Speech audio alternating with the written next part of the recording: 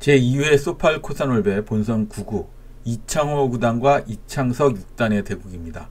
이름이 비슷하죠. 네, 친척이나 그런 건 아무것도 아니고요. 이창호 구단 뭐 설명할 필요가 없죠. 그런데 이 이창호 구단이 올해 들어서 아주 최악의 해를 보내고 있죠. 1월 달에 2승 7패를 했는데 그 2승이 고바야시 고이치 구단이랑 예외핀 구단한테 이긴 겁니다. 뭐 지면 이상한 사람한테 이긴 거 빼놓고는 나머지는 전부 다 졌어요. 그래서 랭킹이 폭, 폭락했죠. 14계단 떨어져서 60위까지 떨어졌습니다. 이창호 구단이 국내 랭킹 60위라는 게 믿어지지 않는데 거기에 충격을 받았나요? 2월 들어서는 다시 이기고 있습니다. 반면 이창석 6단은 뭐 계속해서 요즘 잘 나가는 기사죠. 최근에 벌어지고 있는 국내 예선 다 통과했고요. 현재 10연승 중입니다. 랭킹도 11위. 지금 10위 진입을 목전에 두고 있는데요. 이 두 기사의 대국 어떻게 흘러가는지 한번 같이 보시죠.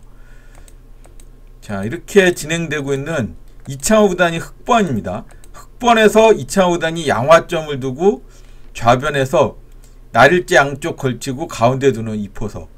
이거 제가 어, 바둑강자에다가 올렸습니다. AI 포석에서 흑번으로 이창호 구단이 두는 필승 포석이다. 예, 여기까지도 똑같아요. 인공지능은 이 흑번의 포석을 안 좋다고 얘기합니다. 그런데 이창호 구단은 이걸 계속해서 쓰고 있어요. 왜냐?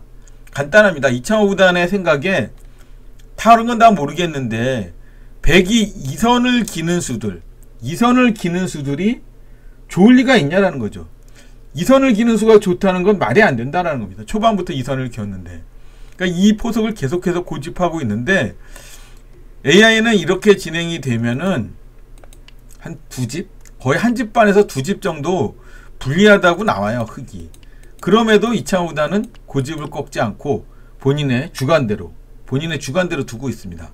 자, 그러면 이렇게 두고 여기까지 들여다봤는데, 이 들여다본 타이밍이 조금 독특해요. 보통 여기 안 들여다보고 이렇게 하변에 두는 거를 블루스팟으로 하고 있거든요. 그리고 이전에 프로기사들도 다 여기다 많이 뒀습니다. 그런데 지금 들여다본 거예요. 왜냐하면 이창호 구단은 들여다보면 잘 이어주거든요. 근데 이창호 구단이 생각했을 때 지금은 이어주는 게 아닌 것 같다라고 판단한 것 같습니다. 하나 더 밀었으면 모를까 안, 안 밀었으면 안 이어준다. 강하게 막았어요. 이 수는 좋은 수다. 이렇게 흙이 막은 수가 굉장히 좋은 수다라고 할 수는 없지만 일리는 있다.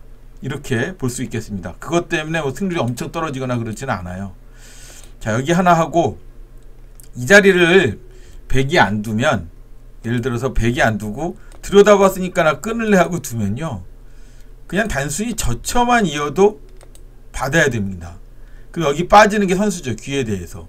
그리고 이쪽 어디를 두면 뭐 여기 어디를 두나요? 이렇게 뒀다고 하면은 이거는 100이 좀 당한 거예요. 그러니까는 우변을 둔 거는 당연합니다. 자, 여기 뭐 이렇게 진행됐다고 하지만 어쨌거나 초반 포석에서는 백이 좋습니다. 이 돌들이 잘 타개를 해요. 이창호보다도 국후에 이런 백돌들이 잘 타개가 돼서는 좀 잘못됐다라고 얘기를 합니다. 요 중앙에 든 흑의 수는 blue spot이고 좋은 수였지만 이후에 진행해서 나온 것처럼 백도 잘 두었기 때문에 흑이 blue spot 하나 뒀다고 바둑이 역전될 리가 없잖아요. 다만 요 한 칸 뛴 수는 이렇게 두는 게 좋았습니다. 그러면 이제 흑도 다른 곳을 두는 거예요. 그런데 한 칸 뛰었는데 여기를 그냥 받아줘서 민 거, 는 거랑 원래 백이 늘었어야 되는 거거든요. 늘었는데 한 번 더 밀어준 꼴이 돼서 백이 잘못 둔 게 없었던 일이 됐습니다. 자 여기 끼운 수도 그냥 미는 거거든요. 끼운 수는 좀 과해요. 근데 2차보다는 태연하게 끼, 끼우고 밀어서 받으면 이렇게 두면 된다. 여기 집이 꽤 크게 난다라고 생각을 한 것 같아요. 근데 이게 2차보다는 변해서 이렇게 좀 집이 나선 괜찮은 거 아닌가라고 생각을 했지만 전혀 아닙니다. 지금 이거는 100이 이렇게 늘어서 둬서 두텁게 돌았으면 100이 지금 꽤 괜찮은 꽤 괜찮은 포석이에요. 한 3집 반에서 4집 정도나 유리합니다. 이창호단은 이제 이렇게 둔 자체로 집이 나서 괜찮다라고 생각한 건데 100도 두텁거든요. 자 그리고 이 이창호단 포석의 특징은 여기를 끊는 데 있어요. 젖히고 끊는 데 이게 어떤 뜻이냐면 받아주면 이렇게 받아야 되는 거거든요 원래 그럼 요 단수까지 마저 치고 이으면 이렇게 둔다는 겁니다 나중에 여기 막는 게 선수예요 이 기기에 굉장히 기분 좋다라는 거죠 끝내기로 득을 봐서 그래서 그게 싫어서 이렇게 따내면 바로 패를 들어갑니다 패 들어가서 팩감으로 이런 중앙을 괴롭힌다든가 다른 데 두면은 바둑이 된다 라고 생각하는 거고요. 그래서 이창석 6단이 그게 싫다고 이렇게 하변을 받았어요.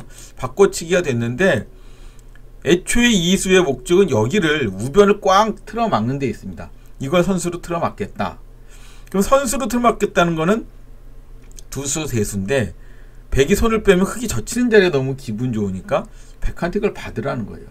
그렇다면 백은 어떻게 돼야 됩니까? 이걸 안 받아야 돼요. 안 받고 이쪽을 뒀으면 백이 지금도 내지부세합니다. 그런데 실전에서는 오른쪽을 딱 뒀더니 나는 목적했던 바를 다 이뤘어 하고 손을 빼고 하변을 돌아와서 차이가 한 집 반으로 급격하게 줄어들었어요. 여기 원하는 걸 다 했거든요. 붙였는데 받았고 오른쪽도 선수로 막았습니다. 이왕 이렇게 된거 백이 석점을 마저 잡았는데 여기 공격을 하면서 이제 발판을 추격의 발판을 마련한 거예요. 자 여기 급소를 한 방 때리고 여기 아까부터 여기 치고 싶어서 이렇게 뒀던 거거든요. 이 자리 굉장히 기분 좋은 것이죠. 그냥 받아주기가 억울해서 다 주겠다 하고 하나 요 단수를 친 겁니다. 손을 빼려고 둔 거예요. 자 여기 둬서 지금 이 장면에서 흙이 이렇게 왔으면 1.3집까지 추격이 되는데 한 칸 빛나서 옆으로 왔어요. 그러면 항상 적의 급소가 나의 급소. 아, 흙이 둬야 될 곳을 안 뒀다 해서 100이 그 자리를 차지하니까 차이가 다시 1.9집으로 늘어납니다. 1.3집이냐 1.9집이냐 뭐 아유 뭐 0. 몇집 갖고 그래 그래 그러는데 이 바둑은 시종 미세한 바둑으로 흘러가요. 아까 앞에 2차원 구단이 좀 분리했을 때는 4집까지 벌어졌지만 지금부터는 계속 미세한 흐름으로 흘러갑니다. 자 여기 뚫은 수가 좀 욕심이 과했어요. 먼저 하나 같이 뚫어놓고 연결하자고 할 때 이제는 이 석점을 버릴 수가 없잖아요. 너무 커서. 그러니까 요거 하나 선수할 때 여기 들여다 보니까 여기 이어야죠. 이거 뚫리면 이 전체가 다 위험해집니다. 그러니까 이어야 되고 받을 때 결국은 백도 요도를 받아야 돼요. 여기 튼튼해져 갖고 뭐 뒤로 돌린다든가 이런 거 수가 안 됩니다. 흑돌이 지금 엄청나게 튼튼해요. 그러니까 이거 뭐 아무런 그 득이 없죠. 보리 선수입니다. 그래서 연결하고 백, 흑도 여기를 막아서 여기 집이 크게 났죠. 이렇게 돼서는 흙이 우세한 게 맞아요. 근데 얼마나 우세하냐? 한 집, 한 집 반 정도. 굉장히 미세해요. 지금 이 바둑은 이 한 집 한집반 갖고 시종일관 그 차이 갖고 바둑이 유지가 됩니다. 많이 유지, 유리하지 않아요. 자, 여기 뒀을 때. 여기도 다 어, 이런 정도고요. 자, 흙이 천천히 선수 끝내기를 다 합니다. 이런 건 다 선수예요. 근데 여기 붙인 수가 문제의 한 수입니다. 이거를 꼭 둬야 되나요? 이게 둘 이유가 없거든요. 이둔 이유는 있어요. 뭐냐면 원래는 여기를 이렇게 따내는 건데 백이 여기를 끊으면 우변이 좀 찝찝하죠. 붙이는 거 이런 거. 그러니까 받아야 된다. 이렇게 하면 이쪽을 왔을 때 사냐 이거죠. 요거 하기 전에 먼저 이거 와서 여기 건너 붙여서 끝낸 수 같은 거 요런 걸 좀 노린 다음에 그렇다고 이렇게 그냥 받는 건 요거 끝내기도 좀 당하고 이런 쪽에서 굉장히 찝찝하다고 생각해서 그거를 안 당하려고 둔 거예요. 그렇지만 요 흑일로 하나 따내는 수가 보시면 굉장히 두텁죠. 더군다나 석점 또 따먹는 것도 있습니다. 이렇게 뒀으면 흑의 승률이 95%까지 올라갔을 거예요. 이거 하나 따 먹었으면. 실전은 여기 붙인 수가 좀 과해서 다시 바둑이 뒤집어집니다. 여기에서 예, 이렇게 두고요. 그냥 따는 게 더 나았고요. 어쨌거나 지금도 비슷한 결과죠. 단수 치고 빠져서 지금 굉장히 미세해요. 굉장히 미세한데 이거 단수 쳤을 때 이수는 이제 이어주면 이쪽과 관계가 되는 거죠. 이걸 이어주면 버티는 거죠. 이렇게 두고 이걸 따내는 건 좀 위험합니다. 이쪽이 선수로 들으면 귀에서 수가 날 수가 있어요. 예를 들어 이런 데 두고 이런 데 두는 게 선수로 듣는다. 그러면 수간할 수가 있어요. 어, 이쪽 귀에서. 그러니까 이런 쪽을 함부로 잘 못 봤기 때문에 단수를 친 건데 그래서 그냥 따낸 거야. 뒷맛 좋게.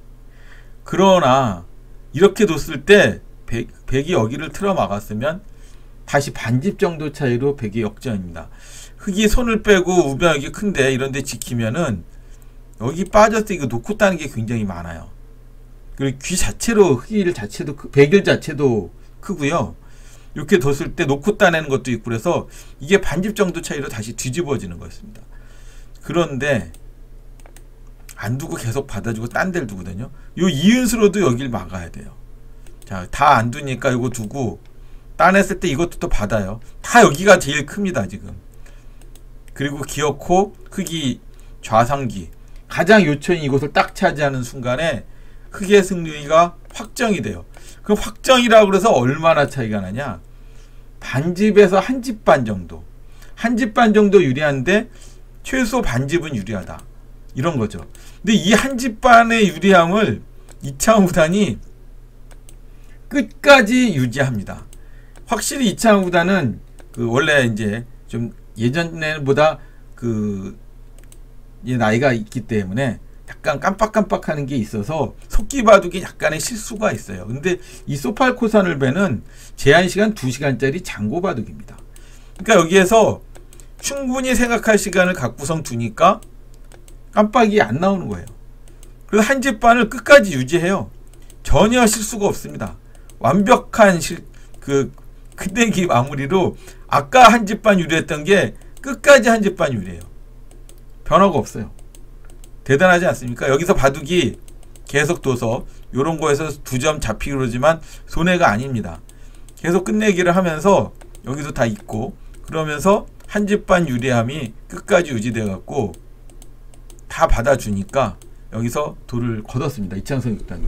돌을 걷었을 때 흑의 승률 98%막 이래요. 집 차이는 한 집 반이요. 이창호 구단의 그 끝내기 실력 신상이 돌아왔다. 이렇게 생각하시면 되겠습니다. 감사합니다. 구독, 좋아요 부탁드립니다.